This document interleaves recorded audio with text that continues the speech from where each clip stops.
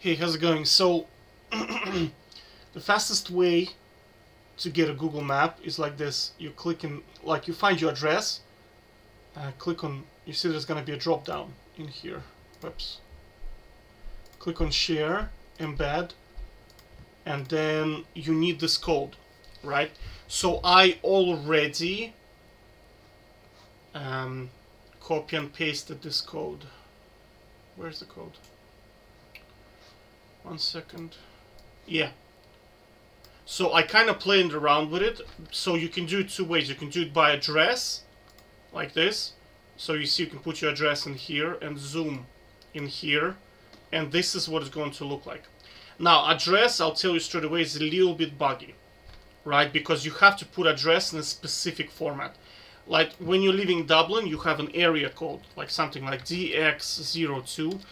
If you're gonna put it into the address, it's going to bug, right? So you see what I'm saying is that address is a little bit dodgy. It doesn't guarantee that it's going to work, right? But it's here under the third one.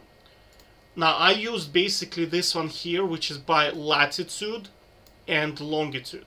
So you put your latitude, longitude, and then you zoom. 15 for zoom is like ideal. You can do 16, but generally 15 is the best. Right, and then that's it. That that's that. This is the code for latitude and longitude. Right, and then this code is kind of I combined all the values from here, here, and I also looked at in here what are kind of the essentials. What are they asking? Do you know what I mean? So I arrived at this code,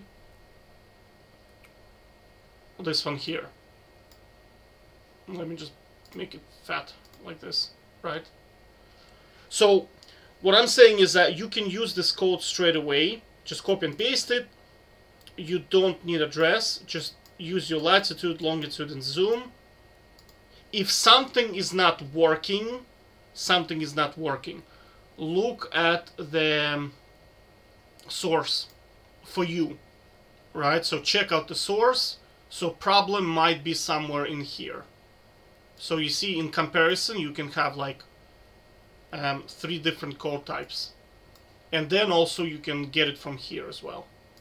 Because if you copy and paste from here, it's very hard to see where the latitude and longitude is. Very, very hard. So I had to kind of experiment. And also you have sources in here, so you can kind of click in here and in here. So you have multiple sources of code. Alright, so, but honestly, this should be working this should be working. Okay, take care. Bye-bye.